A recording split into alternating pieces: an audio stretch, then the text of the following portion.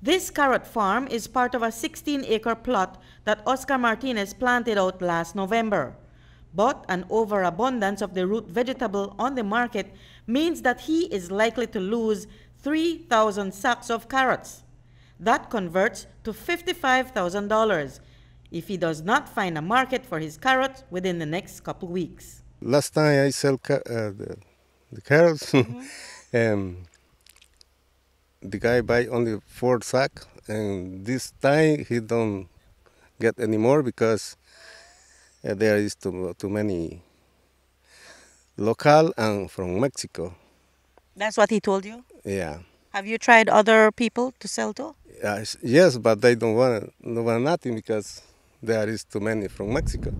Everything is contraband. We visited the San Ignacio Town market and did not see any of the bigger, smoother contraband carrots available. A vendor told us that they don't purchase contraband carrots at that market. About 30 miles away in San Antonio Village, Ananias Mesh has seven acres of carrots that remain unharvested.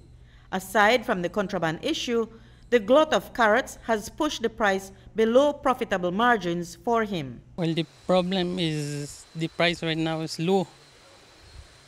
Uh, we, we sell um, 35 by 50 pound. That's thir- $35 for 50 pounds. yes, And now the price is. still still 35 the price. What should the price be? At least um, 50 a 50 pound. We used to go two times a week in Belize City to sell it. Uh-huh. And then? And then right now we are not um, going right there because it's too cheap the the carrots right there. Last time we sell um like 200 bags a week, but right now we just sell 60 bags a week. Uh, And that's because they're buying from other people too? yes, the contraband is affecting us. We we sell right now slow, Do you think the contraband is selling for cheaper than you guys? no expensive. Why do you think that is? Why? Is it because of the quality? Is there a difference in the quality? Yes, a little bit quali- quality. hmm More quality the contraband. If Mesh doesn't sell the carrots by the end of the crop, he stands to lose $20,000. Another contributing factor for the oversupply is climate change. Suitable planting conditions did not occur until late in the year, and that meant that farmers in Cayo who were to provide the first supply of carrots were unable to plant earlier than the other farmers in the north.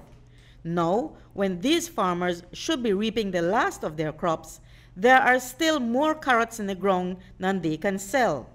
That is before the farmers in the north begin to supply the market. In the past two months, Oscar Martinez had only been able to sell roughly 200 sacks of carrots. He wants the relevant authorities to crack down on those who are contrabanding carrots in Belize.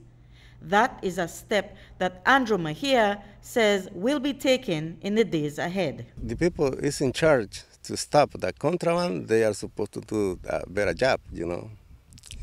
If they don't do a good job, the contraband never stop. They don't stop the contraband, I never plant carrots again. when we do activate and, and we're, we're after this exercise, that's the first thing we're going to do. Activate the vegetable interdiction unit to ensure that all entities come together. And we try to see what, what's the source of the, of the problem. But Mejia says that the carrot farmers also bear some responsibility for the problems they are facing now with oversupply. They don't plant in phases and they plant more than they agree to plant. The farmers did one thing that's, that wasn't planned. Uh, the, the, the production acreages, they planted more. So, um, and compounded to that is the issue of them planting together. The Ministry of Agriculture can only do so much. We meet with the farmers on a regular basis. We plan uh, who will plant first, the schedule will ensure that the farmers understand, and most of them don't abide by it. They would tell us, okay, we'll, I'll plant two acres this year. I normally plant two, I'll stick to 2 The extension officers visit the farm, it's three, it's four, it's five acres. So, And everybody together? and that's the thing.